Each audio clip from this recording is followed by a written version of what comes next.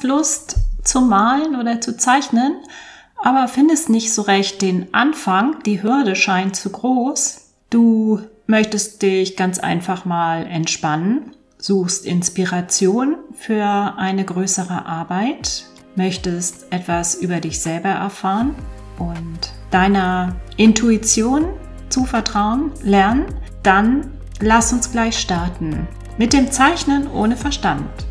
Mindless Drawings. Ich bin Astrid Blome, Künstlerin, Malerin, fasziniert von den Geheimnissen der Intuition und allem, was im Unterbewussten passiert. Ein paar Minuten Entspannung mit Mindless Drawings, Zeichnen ohne Verstand. Herzlich willkommen. Wir zeichnen hier, wie du wahrscheinlich weißt, mit geschlossenen Augen und brauchen dafür ein nicht allzu großes Stück Papier, maximal DIN A4. Gerne auch etwas dicker von der Qualität her, denn dann hast du die Möglichkeit, auch mit Wasserfarben später noch farbige Akzente zu setzen. Wir brauchen außerdem einen Feinliner oder einen Bleistift. Auf jeden Fall irgendeinen Stift, der deutlich sichtbare Spuren auf dem Papier hinterlässt und sich leicht über das Papier hinweg bewegen lässt. Such dir einen ganz ruhigen Platz, an dem du ungestört zeichnen kannst und setz dich ganz entspannt hin. Die Hände lagern auf deinen Oberschenkeln. Du kannst dir aussuchen, ob du die Handinnenflächen nach oben oder unten wendest. Auf jeden Fall lässt du deine Schultern ganz locker sein, ganz locker hängen. Wir schließen langsam die Augen Du hast deine Füße ganz plan aufgesetzt. Du spürst den vollen Bodenkontakt. Und zum Ankommen atmen wir dreimal ganz tief ein und aus. Ich sage das jeweils an. Wir nehmen den ersten Atemzug durch die Nase einatmen und durch den Mund wieder aus. Durch die Nase einatmen und durch den Mund wieder aus. Ein letztes Mal durch die Nase einatmen und durch den Mund ausatmen. Heute möchte ich dich mitnehmen in die Natur, in die bunte Vogelwelt, in die Welt der einheimischen Paradiesvögel. Ja, dafür versuch doch mal deine Ohren zu spitzen welche Laute geben diese Vögel von sich? Versuch deine Aufmerksamkeit jetzt erst einmal auf die Ohren zu lenken.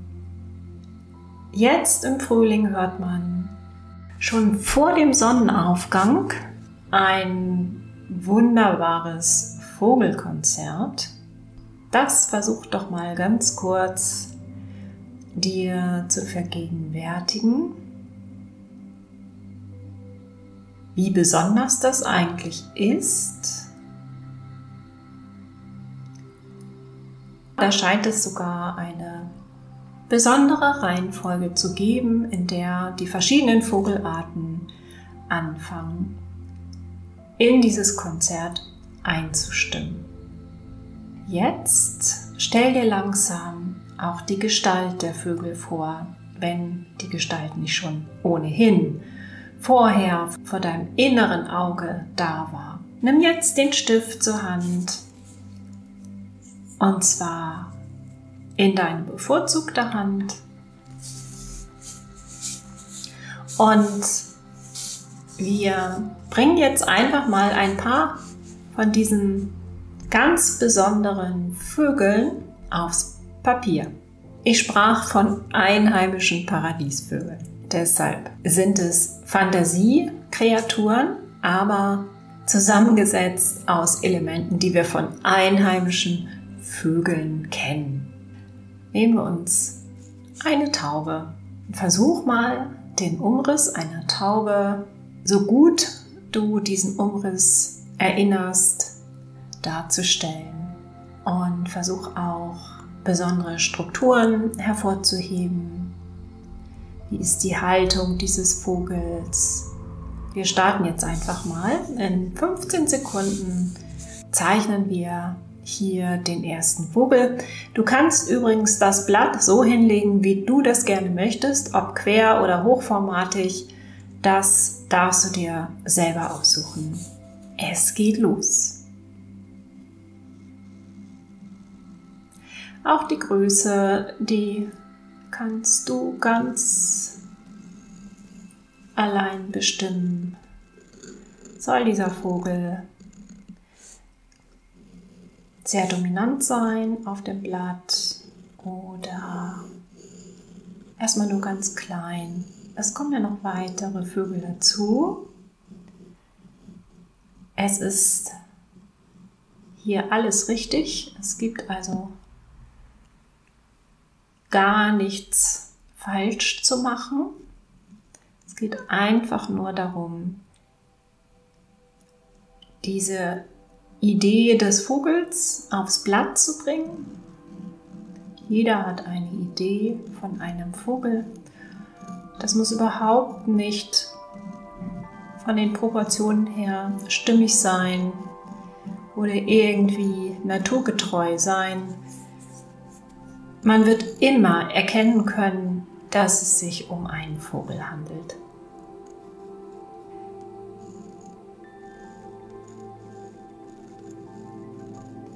Wir kommen jetzt zum Ende von dem ersten Vogel, der bei mir zumindest vielleicht ein taubenartiges Aussehen hat. Ich werde es ja erst später sehen. Und wir nehmen uns den nächsten Vogel vor. Stell dir mal eine Blaumeise vor. Mit Farbe bearbeiten wir das ganze Jahr erst hinterher, wenn wir die Augen wieder geöffnet haben. Also nur, wenn du magst. Aber du hast ja sicher eine ungefähre Vorstellung von der Form einer Meise. Lass uns doch auch diesen Vogel zu Papier bringen. Du kannst ja überlegen, aus welcher Perspektive du diesen Vogel siehst. Seitlich oder schräg von vorne, frontal, von hinten, wie auch immer. Entscheide auch, wo der Vogel im Bild sitzen soll, welche Größe er haben soll. Es geht los. 15 Sekunden ungefähr.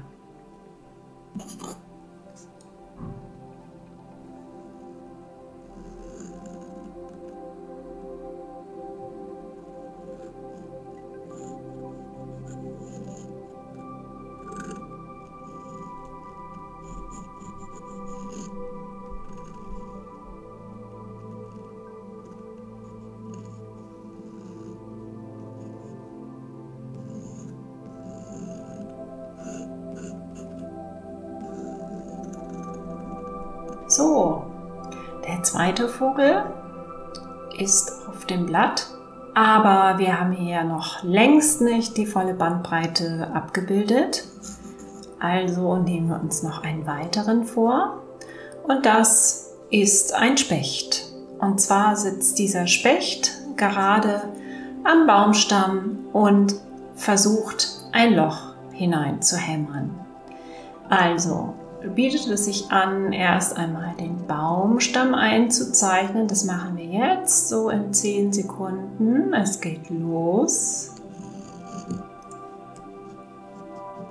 Du kannst ja auch überlegen, ob da noch Äste seitlich abgehen oder ob du das bei einem ganz einfachen Baumstamm mit ein bisschen Struktur, Rindenstruktur belässt. Mach es einfach so, wie deine Intuition es dir jetzt gerade sagt.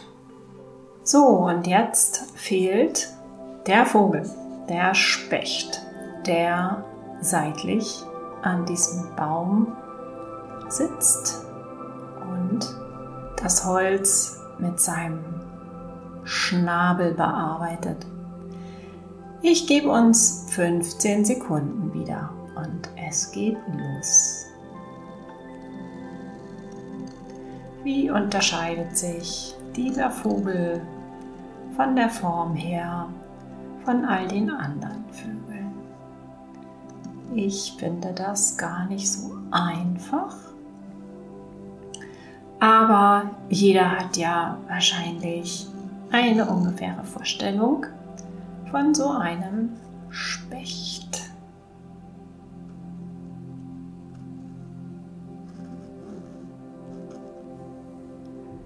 So. Und jetzt fehlt noch ein Vogel und zwar wäre es doch ganz schön, auch einen Vogel zu zeichnen, der gerade fliegt.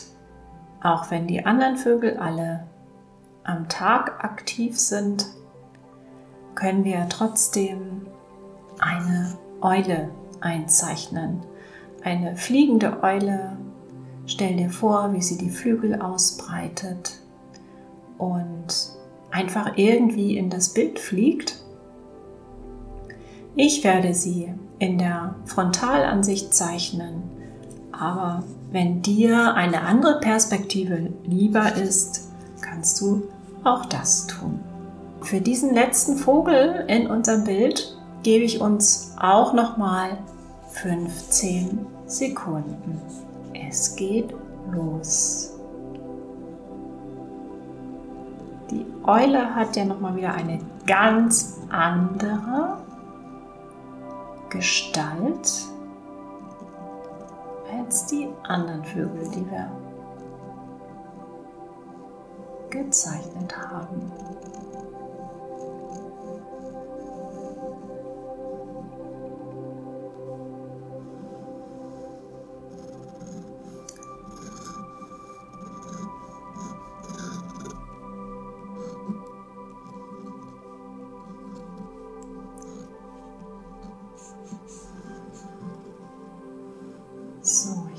Zeichne jetzt noch den zweiten Flügel und du bist vielleicht auch schon so weit. Und jetzt, ja, überlege einfach, was in dem Bild noch fehlt. Vielleicht ist auch für dich alles soweit fertig, stimmig und es ist auch gar kein Platz mehr auf dem Blatt. Ansonsten zeichne einfach das ein, was dir da gerade noch als passend in den Sinn kommt. Ich gebe uns nochmal 10 Sekunden.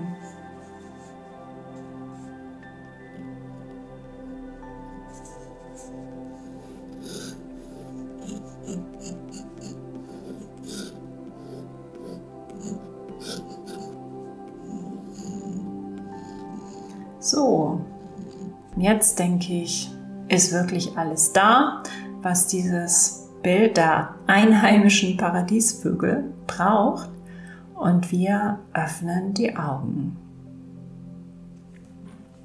Bei mir ist mal wieder ganz viel überlagert. Es wirkt eher abstrakt.